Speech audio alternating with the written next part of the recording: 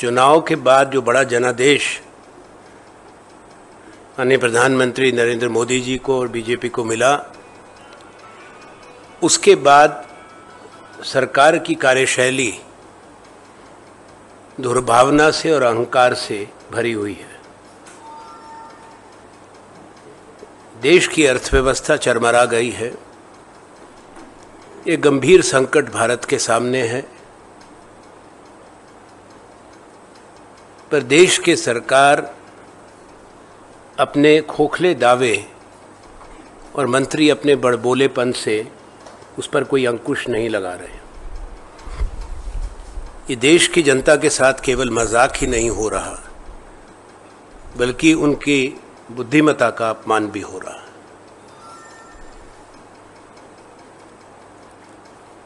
ये भी एक चिंता का विषय है कि जो संस्थाएँ देश के प्रति एक बड़ी जिम्मेवारी रखती हैं। विशेष तौर पे भारत के संविधान और उसके जो बुनियादी मूल्य हैं, उनकी पूर्ण तरह से रक्षा करना और नागरिकों के मौलिक अधिकारों को सुरक्षित करना, वो भी अपने कार्य में कहीं कमी दिखा रही है। देश की जनता को ये एक उम्मीद है और हमेशा रही है कि हमारा प्रजातंत्र तब तक मज़बूत और सुरक्षित है जब सब संस्थाएँ अपना काम पूरी प्रतिबद्धता से करेंगी और विशेष तौर पे देश की न्यायपालिका, जिस पर जिम्मेवारी है भारत के संविधान की रक्षा की। कई विषयों पे देखा गया है, एक में नहीं। कि देश की न्यायपालिकाएँ संवेदनशील विषयों को भी उस पर गौर फरमाने की जगह, निर्णय लेने की जगह उसको आगे की तरफ़ खिसका रही हैं, ताकि ना ही इनकार होता है, ना ही कार्रवाई होती है, और उसमें निरंतर देरी होती है।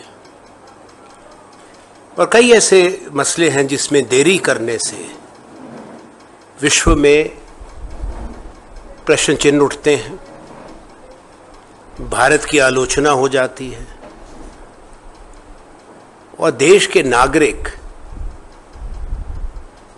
जिनके फंडामेंटल राइट्स का सवाल है, वो भी निराश हो रहे हैं।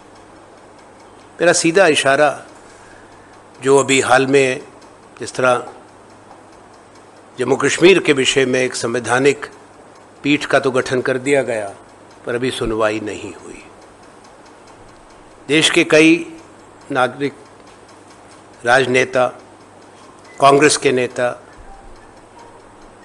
जिसमें भूतपूर्व वित्त मंत्री व गृह मंत्री शामिल हैं, उनके भी कुछ मौलिक अधिकार हैं, जिसके विषय में ये अपेक्षा की जाती है कि न्यायपालिका निष्पक्षता से न्याय करेगी। वातावरण भय का है। केवल निराशा नहीं, भय का वातावरण देश में है। लोगों में जो हमारी व्यवस्था है, उसके प्रति विश्वास टूट रहा है। इससे भारत के प्रजातंत्र को बहुत गहरी चोट पहुंचेगी। ये व्यक्ति या व्यक्तियों का विषय नहीं है। भारत के संवैधानिक प्रजातंत्र पर एक बहुत बड़ी चुनौती है। जहाँ तक भारतीय राष्ट्रीय कांग्रेस है, हमने समय समय पर अपनी जो विचार हैं, इस पे प्रकट किए हैं, चिंता जताई है, पर कोई उसका असर विपक्ष के कहने का, चाहे संसद में या संसद के बाहर, सरकार पर या शासन तंत्र पर नहीं है। ये भी अपने आप में चिंता की बात है। प्रजातंत्र में बात सुनी जानी चाहिए, बात समझी जानी चाहिए। और तमाम वो संस्थाएँ विशेष तौर पे जो शासन और प्रशासन और न्याय से जुड़ी हैं, उनको बिना किसी संकोच के, बिना किसी भेदभाव, बिना किसी भय के अपना काम करना चाहिए। अभी देश की वित्त मंत्री ने कुछ समय पहले पत्रकार सम्मेलन किया।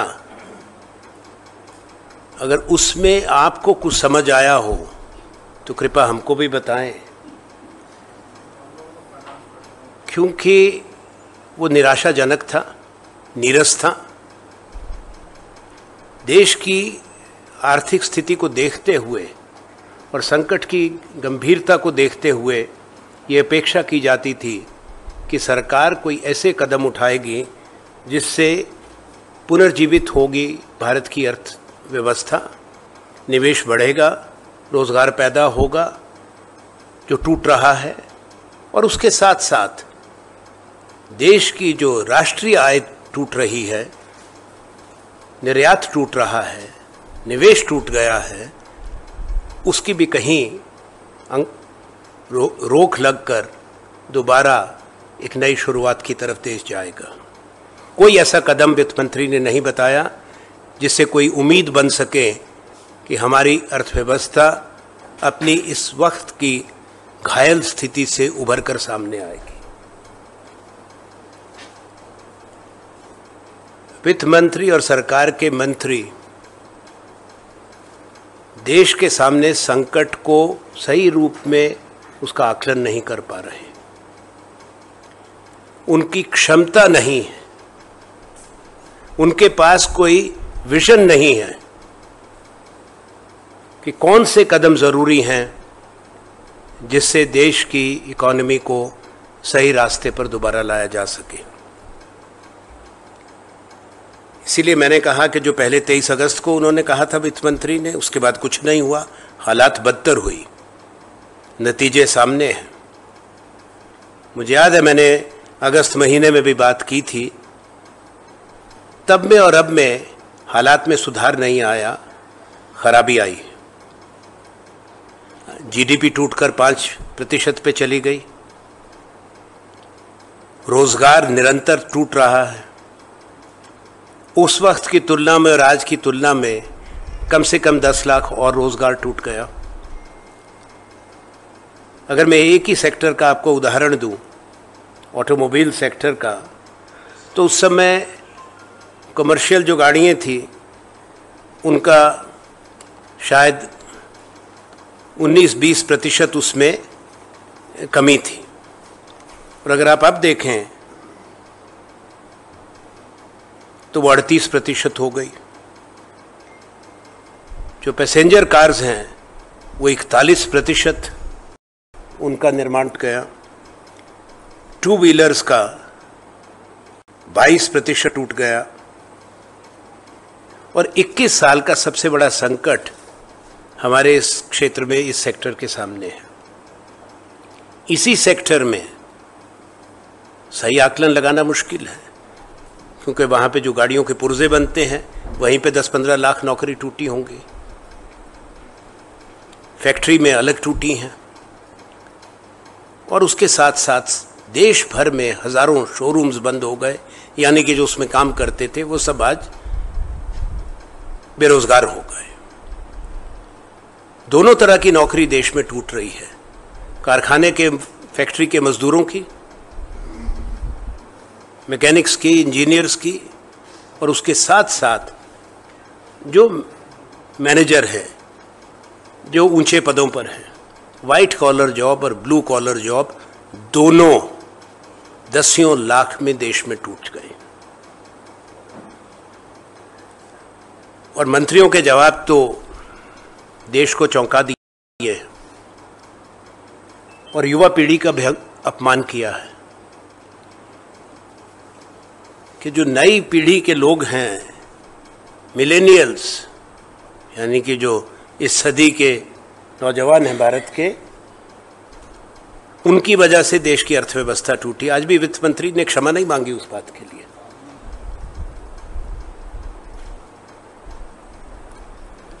अगर ऑटोमोबाइल सेक्टर टूट गया, उनकी वजह से टूट गया कि वो गाड़ी नहीं लेना, खरीदना चाहते ईएमआई नहीं देना चाहते।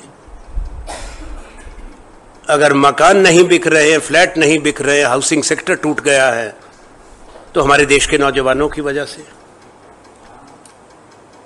कि वो कर्जा नहीं लेना चाहते, कर्जा है नहीं बैंकों के पास देने को ईएमआई नहीं देना चाहते, किराए पे रहना चाहते इतना बड़ा मज़ाक और अपमान शायद इससे पहले देश के किसी वित्त मंत्री ने संकट की घड़ी में देश के लोगों का ना किया हो। हमारी समझ में देश की इकोनॉमी को, अर्थव्यवस्था को एक बार फिर से विकास के रास्ते पर लाने के लिए, उसको शक्ति देने के लिए, इसमें निवेश की ज़रूरत है और वो निवेश सरकार की तरफ़ से आना चाहिए। वो भी आज भी घोषणा नहीं हुई। जब तक पब्लिक इन्वेस्टमेंट जो सरकार का निवेश है वो नहीं होगा, कोई भी आगे रास्ता मुश्किल लगता है। जो आज कहा गया कि थोड़ा सा इंटरेस्ट कम करेंगे एक्सपोर्टर्स के लिए,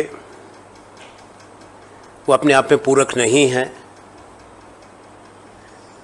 जो मैंने कहा, सरकार का निवेश का पब्लिक इन्वेस्टमेंट का, सरकार के पास पैसा नहीं। राजस्व की बहुत बड़ी कमी है। पिछले साल एक लाख सत्तर हज़ार करोड़ कम टैक्स कलेक्शन हुआ था। और सरकार ने उसके लिए खर्चा बंद कर दिया था। सब्सिडीज का पैसा, डीबीटीज जो जाते थे गरीबों को, वो सब बंद कर दी थी। इस साल अगर आप देखें तो चौबीस दशमलव छह लाख करोड़ का रेवेन्यू कलेक्शन का सरकार का टारगेट है। और अगर आप अभी तक देखें,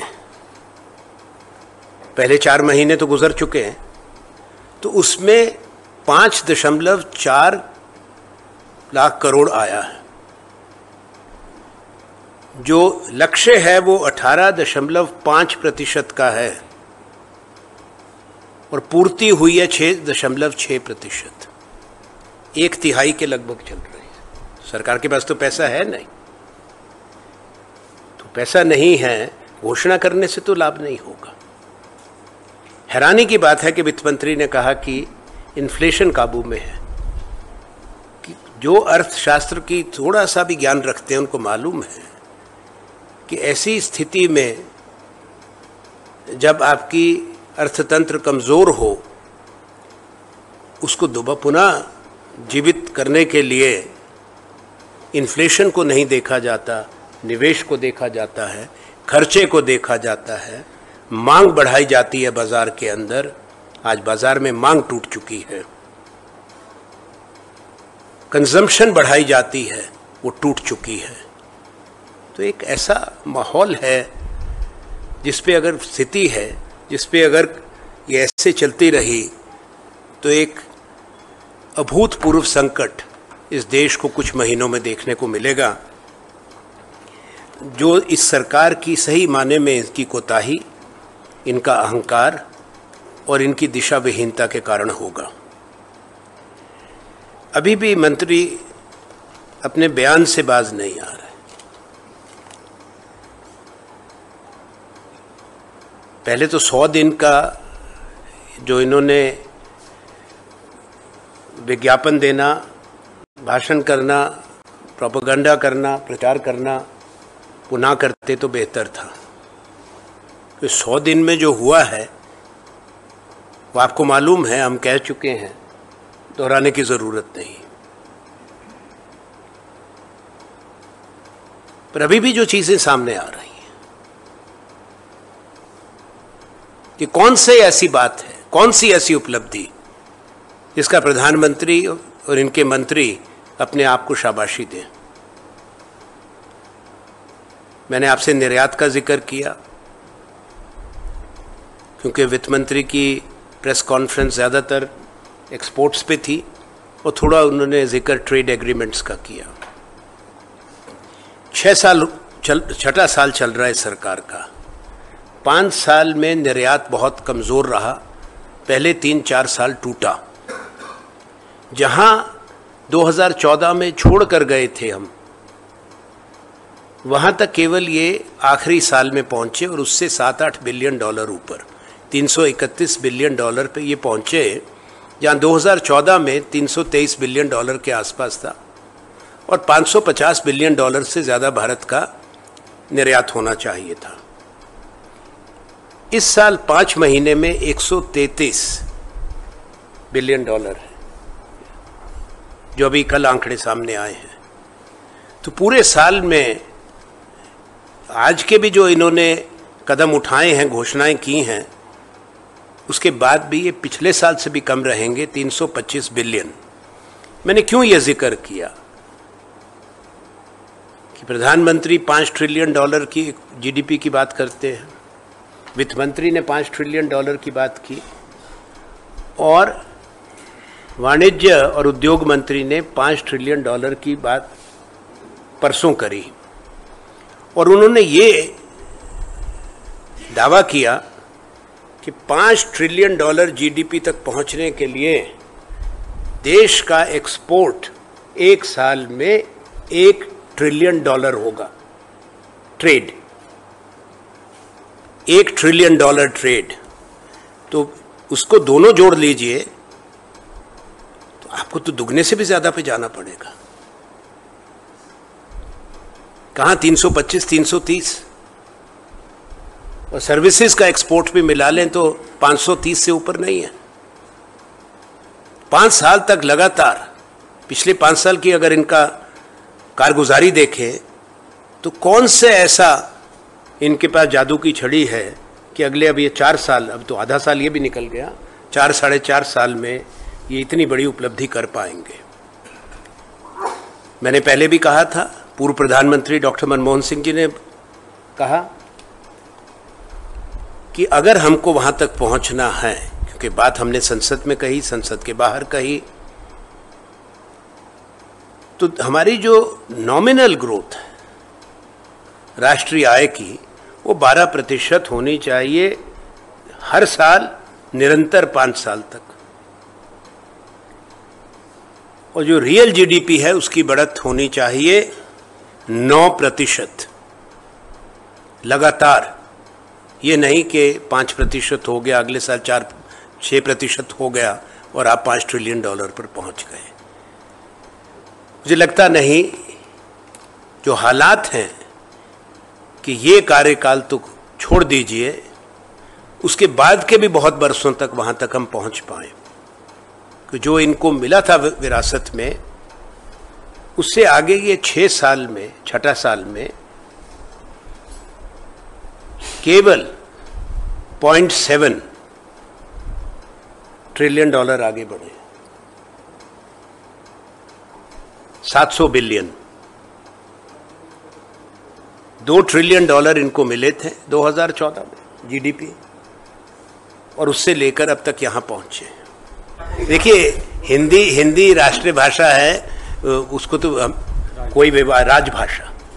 वो राजभाषा के विषय पर कोई भी विवाद नहीं पर जहाँ तक भाषाओं की बात है, उसमें थ्री लैंग्वेज फार्मूला देश ने तय किया है आज़ादी के बाद, और हर सरकार ने उसका सम्मान किया है। माननीय गृह मंत्री को, प्रधानमंत्री को और बीजेपी सरकार को भी उसका सम्मान करना चाहिए।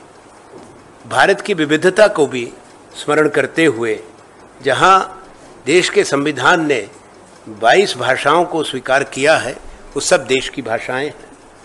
चाहे वो तमिल है, कन्नड़ है, तेलुगु है, उड़िया है, बंगाली है, मराठी है, गुजराती है, पंजाबी है, उर्दू है, डोगरी है, ये भाषाएँ हैं। उनको सबको स्वीकार करना चाहिए और अकारण कोई विवाद इस विषय पे नहीं खड़ा करना चाहिए, जहाँ हम आज राजभाषा दिवस को पूरा देश उसको उत्सव के रूप में देखता है, उसके साथ साथ अपने संविधान और जो राष्ट्र की नीति है, भाषाओं के प्रति, उसके भी पूरी तरह से अपनी प्रतिबद्धता हमको स्पष्ट करनी चाहिए।